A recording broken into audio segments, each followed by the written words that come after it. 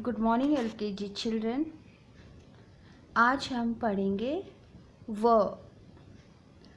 व से वर्षा, व से वक। व से वर्षा वर्षा मीन्स बारिश और रेन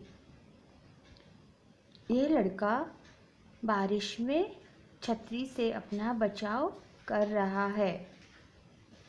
व से वक।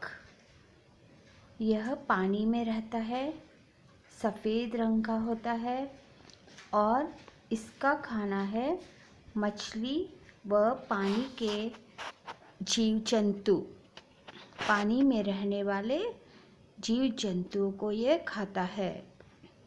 बच्चों, आज आप व पर पेंसिल चलाएँगे।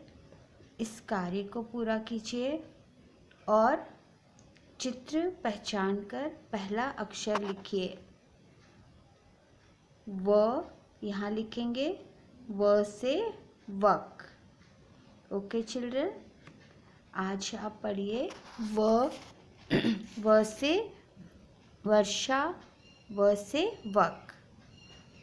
Thank you children bye bye and good day